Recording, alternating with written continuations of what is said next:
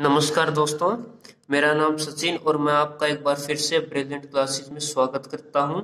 आज हम प्रश्न नंबर चार हल करेंगे। यदि आपको पी एक्स दिया गया है और एक, उसको भाग करना है आपको एक बहुपद जी एक्स से, भाग करने पर आपको भागफल और शेषफल एक्स माइनस दो और दो एक्स प्लस चार मिलता है तो आपको वो जी एक्स याद करना है। तो यानी पी एक्स को किस जी एक्स से भाग करें कि आपको भागफल और शेषफल ये मिले दोस्तों? तो आइए चलते हैं। तो यहाँ पर आपको बाजक सॉरी भाज्य दिया गया है पी एक्स ये और बाजक जी एक्स होता है जो कि आपको ज्ञात करना है। भागफल यानी क्यू एक्स आपको दिया गया है एक्स माइनस दो और शेषफल यानी आर एक्स आपको माइनस का दो एक्स प्लस चार दिया है। तो हम इस फॉर्मूला एक फॉर्मूला का इस्तेमाल करेंगे और उससे हम जी एक्स का मान पता लगाएँगे। तो आइए चलते हैं। तो यहाँ पर आपको दिया गया है, ये चारों चीज़ तो एक फॉर्मूला है, बाज्य बराबर होता है, जो बाजक होता है, अगर हम उसकी गुणा भागफल के साथ करेंगे और उसमें जोड़ देंगे शेषफल तो आपको क्या मिलेगा? भाज्य मिलेगा।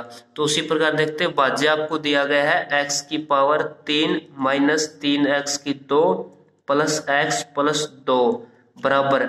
भाज्य का आपको पता लगाना, यानी कि मैं यहाँ पर जी एक्स ही लेकर चलता हूँ। गुणा में भागफल दिया गया है एक्स माइनस का दो प्लस शेष फल दिया गया है माइनस का दो एक्स प्लस का चार। ठीक है दोस्तों? तो हम अब आपको पता लगाना है जी एक्स की वैल्यू तो सबसे पहले जिसका मान याद करना होता है उसको अकेला रखेंगे। तो यानी जी एक्स हम यहाँ पर अकेला रखेंगे तो इन दोनों को हम इस तरफ़ लेके जाएँगे। तो यानी पहले जो शेष फल है उसको उस तरफ़ लेके जाएँगे। तो यानी एक्स की पावर तीन माइनस तीन एक्स का वर्ग प्लस एक्स प्लस दो। तो यहाँ पर क्या है? माइनस का दो एक्स तो यहाँ पर प्लस का दो एक्स होगा। माइनस का चार होगा उस तरफ़ जाने पर। और बराबर क्या रहेगा? जी एक्स रहेगा। अब जी एक्स और इसके साथ क्या है? एक्स माइनस दो क्या है? गुणा के अंदर है। अब एक्स माइनस दो अगर मैं उस तरफ़ लेके जाऊँगा तो यहाँ पर एक्स माइनस दो भाग में होगा। तो अभी जी एक्स आपको पता लगाना था। तो यहाँ पर एक्स की पावर तीन माइनस तीन एक्स की दो। अब ये एक्स और ये दो एक्स तो यहाँ पर प्लस का तीन एक्स होगा। और प्लस का दो, माइनस का चार, माइनस का दो मिलेगा और भाग देंगे x माइनस दो के साथ। अब ये फॉर्मूला बना है, यानी अब इस बहुपद को इस बहुपद से भाग देंगे तो आपको क्या मिलेगा? जी एक्स मिलेगा। तो हमने यहाँ पर भाग विधि का इस्तेमाल करना होगा। तो यहाँ पर हम इस बहुपद को इस बहुपद से भाग देंगे और जो आपको यहाँ पर ऊपर भागफल मिलेगा, वो आपका फाइनल आंसर यानी जी होगा। तो आइए देखते हैं। इसके अंदर सबसे बड़ी संख्या आपके पास x की पावर तीन है, उससे भाग देंगे x से। तो यहाँ पर आपको मिलेगा x की पावर दो। तो यहाँ पर मैंने x की पावर दो रखा।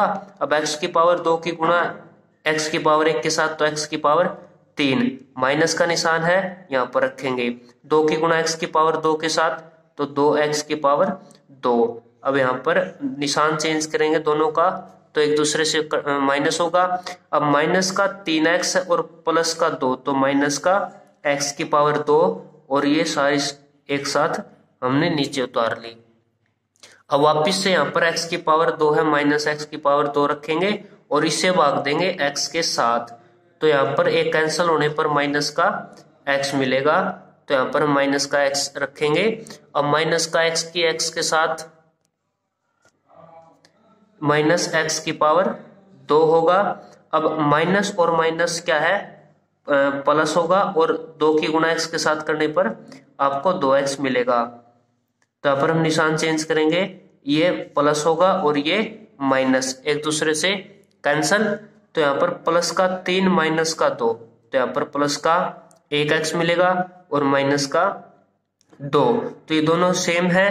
तो इसलिए प्लस वन रखेंगे क्योंकि सेम है तो एक्स एक्स कैंसल एक मिलेगा। तो यहाँ पर वैसे का वैसा रख देंगे एक्स माइनस का दो। निशान चेंज करने पर ये भी कैंसिल होगा एक दूसरे के साथ और आपको शेषफल मिलेगा ज़ीरो तो आपको जो पता लगाना था वो है जी एक्स और जी एक्स की वैल्यू क्या रहेगी?